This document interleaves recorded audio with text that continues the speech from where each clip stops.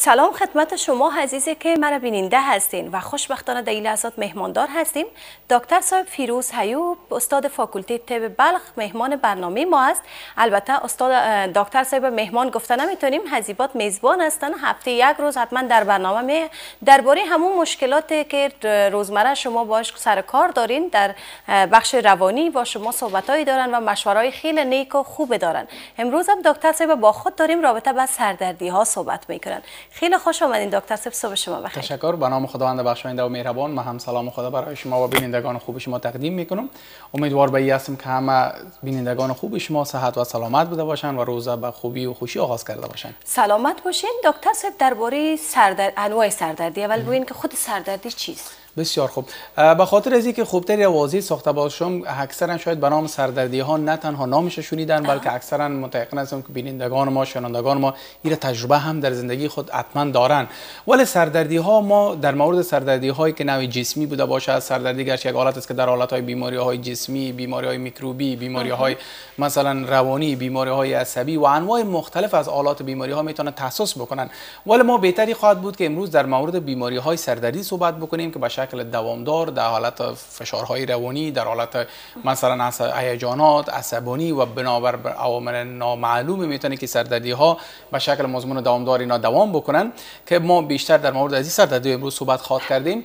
سردردی هایی که با وجود میان ما که سردردی هایی داریم که بیشتر مثلا شخص وقتی که در حالت های جگرخونی قرار می‌گیرن در حالت های تشویش قرار می‌گیرن در حالت های نگرانی قرار می‌گیرن در واقعات هیجانی قرار می‌گیرن دی وقت هستن که یک سردردی فوق العاده شدید اینا بعضا احساس می‌کنن که سردردی ها می‌تونه بعضا نیم سر بگیره که بعضا به نام نیم سری ها یاد می‌کنن. بله. بعضا سردردی بوده باشه که مثلا تمام سر فشار میته و حتی گردن قسمت ها رو شخ می‌گیرن. یا که مثلا بعضا قسمت های علقای اطراف اطراف چشم مثلا درد می‌گیرن که ما معمولا سردردی های نوع روانی و عصبی می‌تونیم تصمیم بکنیم. ولی یک سردردی هایی داریم که مثلا برتون دیدی که بیماری های رو... جسمی بیماری های میکروبی بیماری های مختلف سیستم های مختلف می‌تونن تخصص بکنن. مثلا فشار خون بلند می‌تونه سردردی رو به وجود بیارن یک واقعی که مثلا فشار خون بلند میرن و رگای خون خدای نخواسته رپچر می‌کنن خون ریزی میتن و بالاخره سردردی ابتدای شدید می‌تونه به وجود بیارن. یا مثلا یک حالت میکروبی مثل مرقه و بیماری های مثلا بروسیلوز و یا التهاب قسمت های دماغ بدن اینا هم می‌تونه یک ریزش عادی هم سردردی رو به وجود بیارن.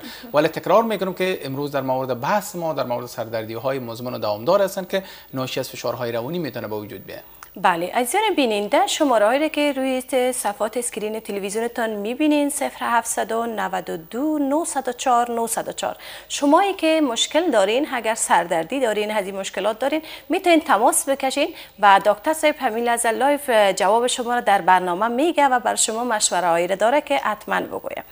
عزیزان بیننده ما منتظر تماس های شما هستیم.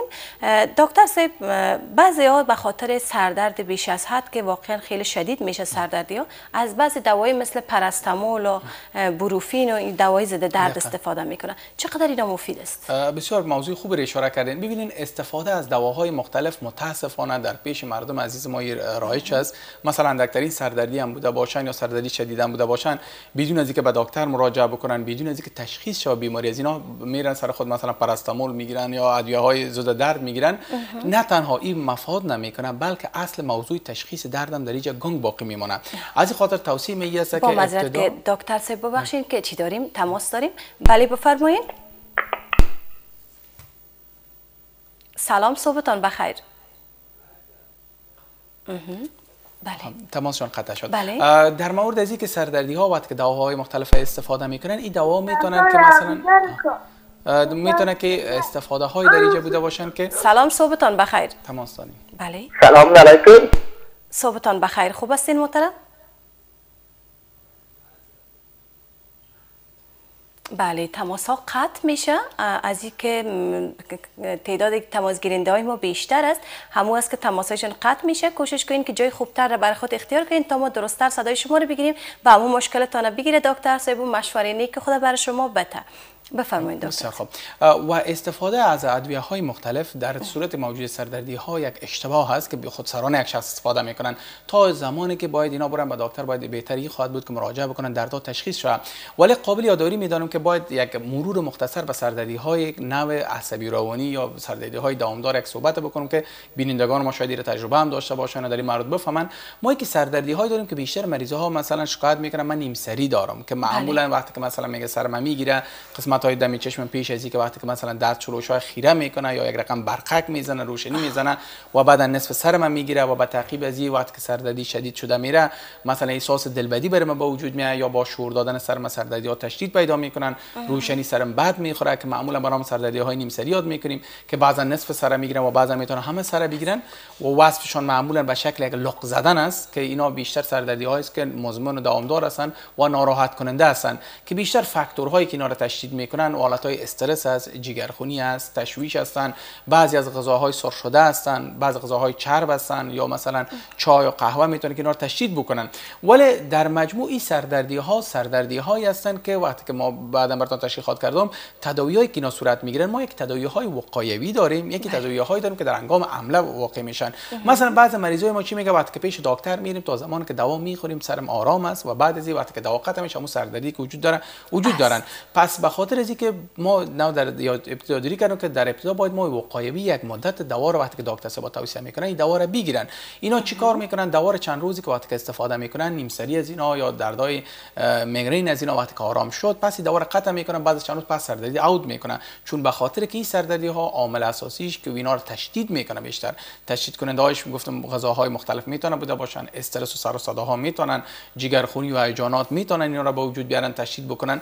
ولی باید اینا وقایع بر یک مدت دوا رو بگیرن. و دیگه در زمان حمله وقتی که میاد دکتر سیو برش توصیه می‌کنن کدام دوا رو با کدام زمان باید با کدام مقدار استفاده بکنن. بله. دیگه ما سردردی هایی داریم که نوع تنیشی ها داریم می‌کنیم که بارها همگی تجربه کردن واقعات که بسیار خسته باشن واقعات که بیش از حد ناراحت باشن بیش از حد مثلا احساس هیجانی داشته باشن. یک احساس سردردی در قسمت اطراف سر خود قسمت های شقیقه بله، و بله. قسمت های گردن اینا احساس می‌کنن یک شخیر احساس می‌کنن و یک گرفتگی احساس می‌کنن که معمولا در پیش از اون کدام دلبدی و چیزا وجود نداره ولی تنها یک گرفتگی احساس سردردی وجود دارن و خودش هم تاریخ چرمه که خیلی خسته هستم خیلی جگرخون هستم. یگان وقتی که هیجانی میشم می سرم همیشه گرفته و آرام نمی‌کنه. حتی با دوای پاراستامول آرام نمی‌کنه پس از این خاطر اینا سردردی های تنشی است که ناشی از استرابات و ناشی از استرس آف شارهای روانی به وجود آمده که باید اینا هم باید با دکتر صاحبای بخش متخصص باید صحبت بکنن تا دوای مربوطهش استفاده بکنن.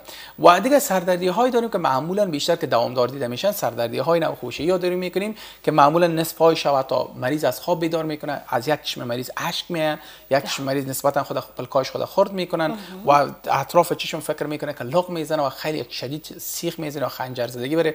دردار اینا توصیف می‌کنن که معمولا باز این دردها به یک وقفه منظم در پیش مریض وجود دارن که هم از جمله سردردی های مزمن می‌تونن بوده باشن. که بیشترین سردردی های امروز که در پیش مردم عزیز ما دیده میشه معمولا سردردی های تنشی و میگرین یا نیمسری ها واقعاتش بیشتر هستن. بله عزیزان بیننده شما می‌تونین که اگر مشکل سردردی دارین تماس بگیرین به شماره 0792 904 904 ما هم امیل از جواب میگیم. فکر می‌کنیم کدام تماس داریم. سلام صبحتان بخیر. تشکر سلام خدا خدمت شما و خدمت دکتر محترم تقدیم می‌کنم. بعد از یک مشکل روانی یکی از دوستای ما داشتم خواست محمد بفرمایید. بفرمایید. یکی از دوستای ما شبها کاملا زندگانی می‌کنه بیدار میمانه که دایره می‌گیره بنک می‌خوانه خلاصه بر خودش یک سر تنا را مندازه مقصد دیگران احیت می‌کنه من گفتم رای حل از این چی از دکتر کبیر ما میفهم تکلیف اثری است تا جایی دکتر صاحبان مراجعه کردیم. مثلا همین موضوع فقط یک چیز خواب آور برشان داده که مثلا بخوابن و یک مدت از چربی خوردن و از لوبیا و نخود از چیزا جلوگیری بکنن. همین چیزا رو بهشان تغذیه دادن و گفتن. پدر جان ببخشید چند سوال داشتم. میشه برای ما بگوین که چی مدت زمانی تکلیف دارن و چی مشخصات را دارن؟ نه تنها که مثلا این خو نمی‌کنه برای دیگرها اذیت می‌کنه دیگه چی مشخصات دارن؟ این مثلا بسیار پرخاشگر است یا آرام در یک جای نشسته است با کسی گپ نمی‌زنه غذا خوردن و یا مثلا روابط اجتماعی چی گونه است؟ این باره می‌تونین که معلومات بدین؟ سکرایی روابط اجتماعیش بد نیست در صحبت در صحبت خود خنده می‌کنه و عرض کنم که دیگه تو کدام ضرر برای کس نمی‌رسه فقط فقط یگانه چیزی همیست که زیاد گپ می‌زنه و گپش یعنی زیادی بیرا حرکت می‌کنه صحبتاش مثلا از اون جایی که می‌خواه صحبت داشته باشه در یک صحبت دیگه حرکت می‌کنه. خوب است. دیگه از کنم که از این مدت زمانش خیلی طولانی است که گذشته شد حدود دو سه سال شده باشد دکتر بردن مراجعه کردن اما سودی به خوب است تشکر.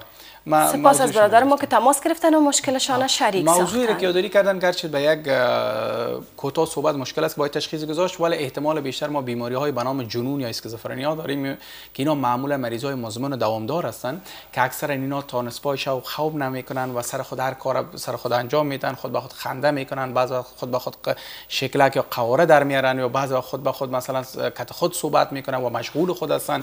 بعض وقت بیقرار هستن گاهی در اتاق گاهی در بیرون اصلا ناراحت هستن و روابط اجتماعی بعضا دارن و بعضا اصلا با کس علاقه ندارن صحبت بکنن و بیشتر انسان هستن که گوشه نشینی علاقه دارن در یک جای گوشه میشینن و بسیار حالت را دارن که مثلا بعض وقت ازیان میگن برسام میگن که چونی از حوصله برنامه فراتر است ایره در برنامه یک صحبت خواد کردم این بیماری ها ضرورت به یک تداوی های دوامدار داره که حداقل بیشتر از یک سال الی دو سال دوامدار ضرورت دارن و به می شکل توصیه ای است برای برادر ما که باید به یک دکتر متخصص بخش روانی باید مراجعه بکنن که باید یک دقیق تشخیص شود تا تداویشون به شکل منظم دوام بدن. از این خاطر اینا تداوی یک روز روز ندارن. یعنی تداوی از اینا به شکل دوامدار باید صورت بگیره.